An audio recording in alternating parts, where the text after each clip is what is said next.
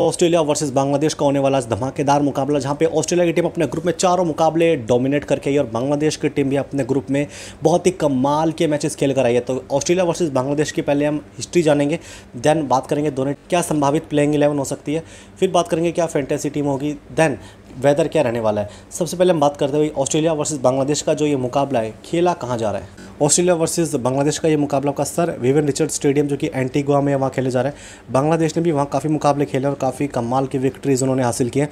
But यहाँ पर अगर आप जाओगे कि ऑस्ट्रेलिया का सफ़र कैसा रहा है? तो भाई वो अपने ग्रुप में ओमान, इंग्लैंड, नेमीबिया और स्कॉटलैंड को रख रहे हैं और बांग्लादेश की टीम वहाँ पे श्रीलंका, नीदरलैंड, नेपाल को रखे है और साउथ अफ्रीका से मैच गवा के आई है। वहीं आप देखोगे कि ओवरऑल क्या रिकॉर्ड्स है ऑस्ट्रेलिया वर्सेज बांग्लादेश का? तो इनके बीच में दस मुकाबले हुए, जिसमें से छः ऑस्ट्रेलिया, चार बांग्लादेश जीती है। वहीं टी वर्ल्ड कप में रिकॉर्ड देखोगे तो पाँच मुकाबले हुए, जिसमें से पाँचों मैच ऑस्ट्रेलिया जीती हुई है टी ट्वेंटी वर्ल्ड कप में।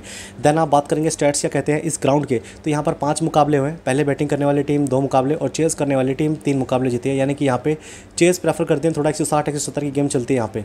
इस ग्राउंड का जो एवरेज स्कोर है, एक सौ सत्रह है फ़र्स्ट इनिंग का। सेकंड इनिंग का average score one zero five है। देन यहाँ पे एवरेज हाइस्ट जो टोटल इस ग्राउंड पे वन नाइन्टी फोर है, जो कि रिसेंटली बना था।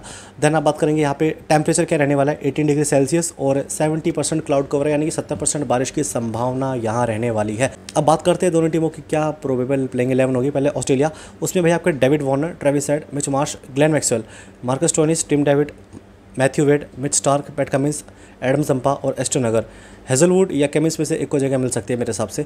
देन बांग्लादेश की बात करेंगे तो उसमें आपको तंजीद हसन, नजमुल हुसैन शांतो देन लिटन दास शाकिब अल हसन, तोहिद हृदय महमदुल्ला जाकिर अली रिशाद हुसैन, तस्किन अहमद, तंजीम हसन साकिब मुस्ताफिजुर रहमान। अब बात करते हैं भाई, क्या फैंटेसी टीम होने वाली है? उसमें आपके विकेट कीपर होंगे लिटन दास देन बैटर्स में Travis Head, Towhid Hridoy allrounders में Marcus Stoinis Shakib Al Hasan, Glenn Maxwell Mahmudullah Rishad Hossain भी हैं।